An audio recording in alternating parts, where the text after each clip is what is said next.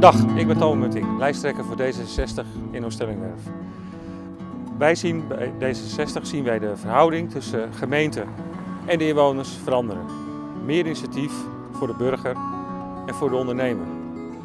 Meer initiatieven op het gebied van werk, natuur, sport, cultuur en onderwijs. Want met onderwijs begint een welvarende gemeente.